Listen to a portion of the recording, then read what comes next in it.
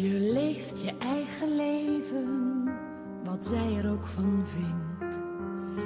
Je bent al lang geen kind meer, al blijf je ook haar kind. Je wilt erover praten, maar niet op haar manier. Je zult haar best verdriet doen, maar niet voor je plezier. Wat moet je nog met haar en met haar ouderlijk gezag? En dan opeens, dan is hier die dag.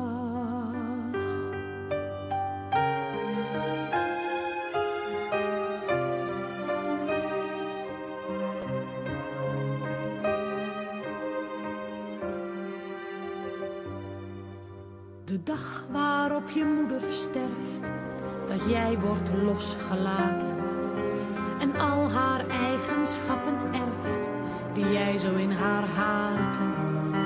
De scherpe tong, de bokkenpruik, de zure schooljuffrouw, die zullen ze dan binnenkort herkennen gaan in jou.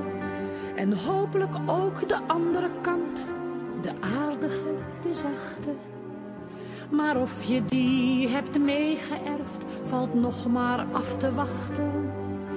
De dag waarna de rest een kwestie wordt van tijd en pijn.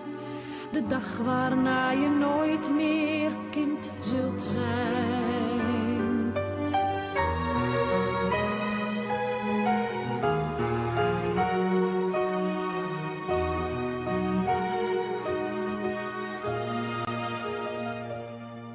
Wat al die jaren fout ging, komt dan niet meer terecht. En wat je nog wou zeggen, blijft eeuwig ongezegd. De machteloze frazen van je genegenheid. En dat het niet haar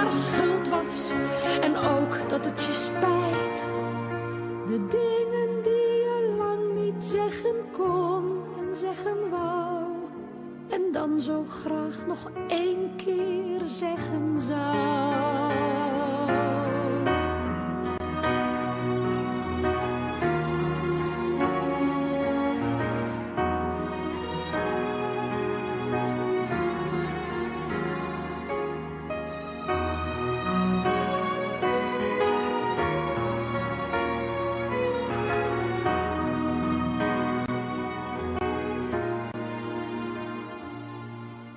De dag waarop je moeder sterft, de dag die al je dagen van dan af aan wat grijzer verft, al hou je niks te klagen.